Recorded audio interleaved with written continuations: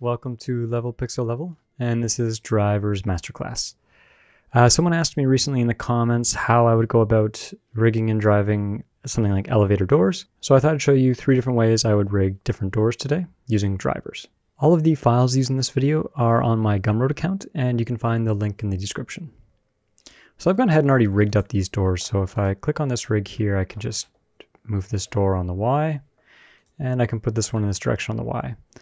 I purposely pointed these bones in the opposite direction, so when I select both and hold Alt down and drive the Y value, they'll go in the opposite direction, but they'll have the same positive value. So right now they're both at 0.57 positive. It's just a fun way to rig doors up, and it's a nice way to animate them as well if you want to play with them at the same time. So I'll click on the root uh, control here, and I'll go to custom properties and I'm just going to go to add. And there's a property here. I'm just going to rename it door underscore open. And I'll leave the min and max alone for now. But the default value, I'm just going to put at 0.0 and I'm going to click OK. So I'm just going to copy this data path by right clicking on this number here and clicking copy data path. Then I'll click on one of the uh, door controls here and I'll right click on the Y location and click add driver. Now this panel is going to come up. I'm just going to click outside of it. We're going to use the driver window for now. So down here, I'm going to pull this up and I'm going to go to drivers. So this is driver door 02. If I hit N on my keyboard, I bring up this other panel and click on drivers. And I'm just going to make this expression var. Then for the variable, I'm going to make it a single property, and the property is going to be this rig. So I'll click on the property, and it's going to look back at itself. The name of this rig is door01. If I just expand this here, this rig is door01. So under the property, I'm going to type door underscore 01. And it's this armature right here. You can also use the, um, if I close this, you can use this eyedropper tool and then click on the object you want. I'll do that again actually. So if I click on this eyedropper tool and hover over my rig, object door 01 and just click on it, it fills that in. Then here, I'm just going to do Control V or Command V on a Mac. That's it. So the value is 1. So if I click back on my root bone here, uh, the value is 1. So if I drive this to 0, it's going to move that door there back to its original location. So I'll leave it at 0 for now. Now all I have to do is grab this driver and paste it to the other controller because these bones are facing in the opposite direction. So if I right click here and do copy driver, click on this control here and do paste driver. Now, when I drive that dial, the doors are just moving off in the correct direction. Last thing I can do is I can go to edit here. Instead of max at 1, I'm just going to put this at 2.0 and hit OK. There's a couple ways you could do this. Now the doors will keep sliding off and you can see the bones keep sort of moving outside of the elevator door there. There's other ways to do this too, but for now, that's just how I would go about rigging that piece. Let's go to door number two. So this one is a little bit different. Um, it's similar with this piece here that's going to move this piece out in this direction. And I want this one to move in this direction. But then these ones here, I've actually positioned the bones so that the y-axis can let them move in these directions and do some really interesting uh, things when this is going to open. First thing I'll do is I'll click on the root and I'm just going to add a custom property. I'm going to rename it to door open. I'm going to put the default value to 0.0 and the property value to 0.0. Just for now, I'm just going to make the max 2.0. Actually, I'll leave it at 1. I'm going to do this in a different way. And I'll right click on the number and I will copy the data path. So to start out, I'll click on this control down here. I'll start there. I'll right click on the Y and I'll do add driver. I'm actually going to do it in this menu now. So I'm just going to type in var and I know it's a single property. I know it's a rig. It's door underscore 02. Click on this one here and I'm just going to paste this in here. So going a little bit quicker this time. But instead of var, I'm actually going to do var times 2. So now when I grab this property and drive it, it's going to move two times as much. And it's still not enough to clear the door frame. So I'll click back on the bone itself or the control. I'll right click on the Y and I'll go to edit driver and I'll do var times three. Yep, that's enough right there. So I'm going to right click on this driver and I'm going to go to copy driver.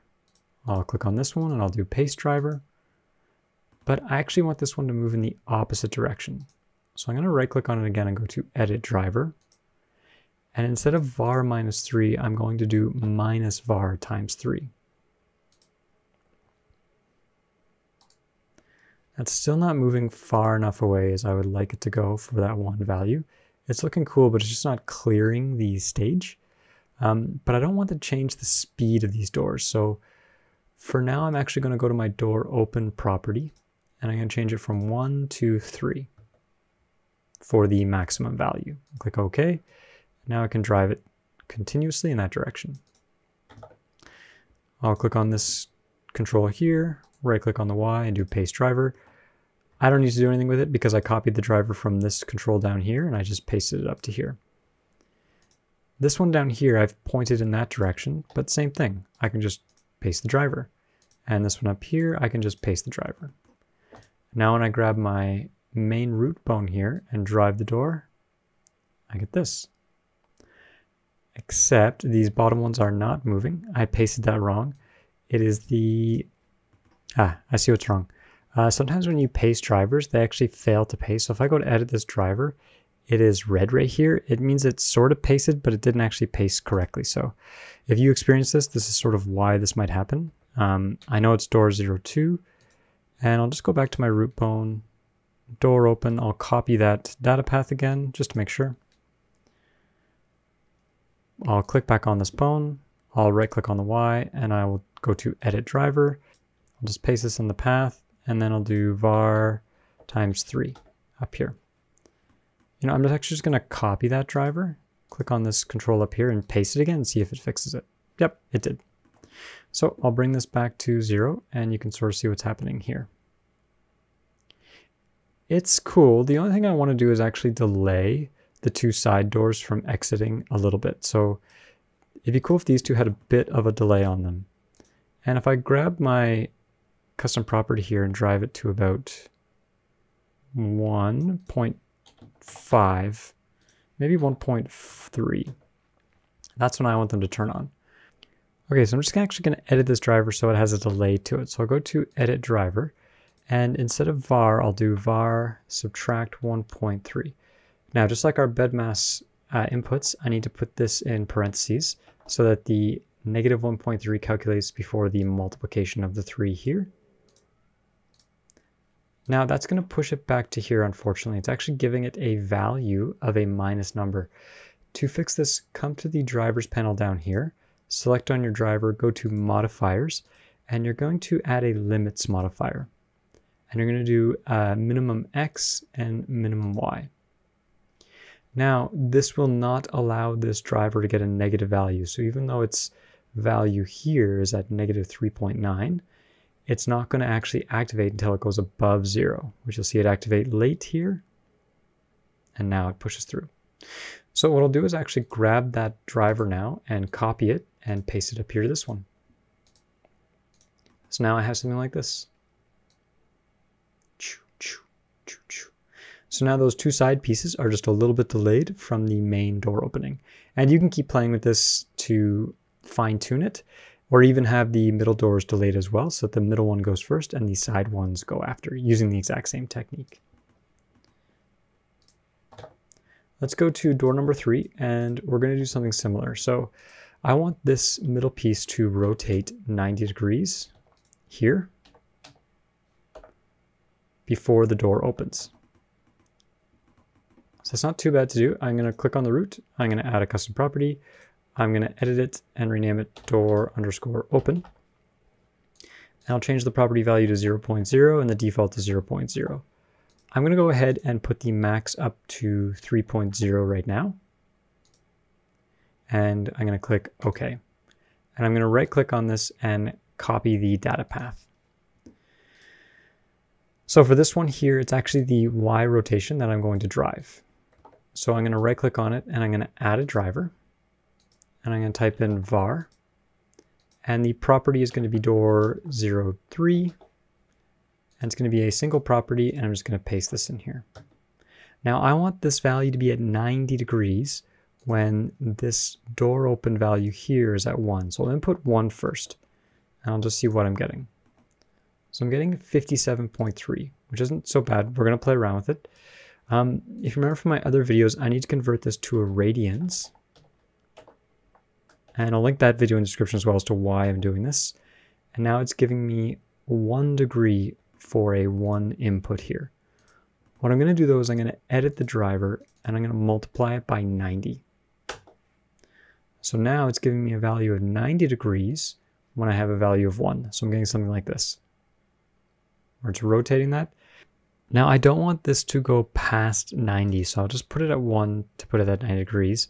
I'll click on the uh, control here. I'll go to the drivers panel down here. So when I do radians var times 90, the output of the value is actually 1.571. That's what I'm going to input into my modifiers. So I'm going to add a limits. I'm going to turn on the maximum x and maximum y, and I'm going to do 1.571, and for maximum I'm going to do 1.571. This means it will not go past 90 because it's doing another degrees conversion on that, and I'll show you what I mean. Just really quickly, if I go to a Python console, do degrees 1.571 and hit enter, that's about 90 degrees. That's pretty much where I want it. So now when I drive this value to 1, it will not go past 90 degrees on that rotation. But then at 1, I want these two doors to open. So again, it's the Y value that I'm going to drive. So I'm going to right click and add a driver. And I'm not going to do it here. I'm actually going to do it in the drivers panel down here. So go to drivers and it's going to be var minus 1 because I don't want it to start right away. I want it to minus 1 from the equation before it starts. And that's actually it. I just need to fill in the data down here. So it'll be a single property. It'll be door.03.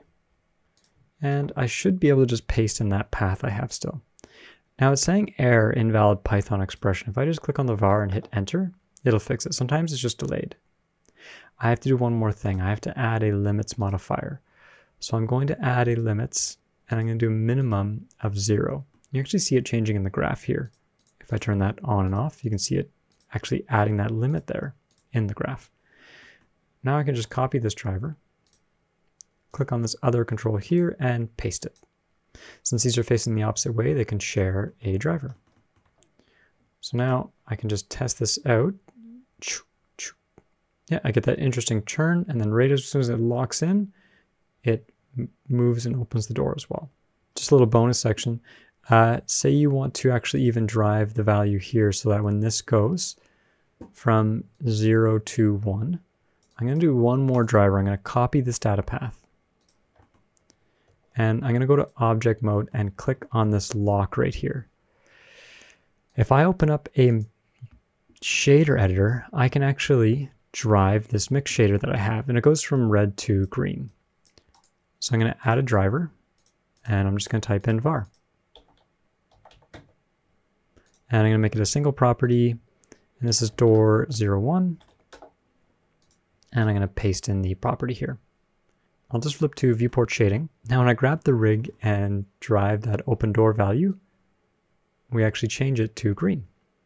So just something fun you can do with drivers as well as you're playing around with um, adding shaders to these drivers as well and hopefully making uh, animators' lives easier by just having one dial to do everything. Let me know if you have any questions in the comment section below. Uh, big thanks to my Patreons for helping me out with this video.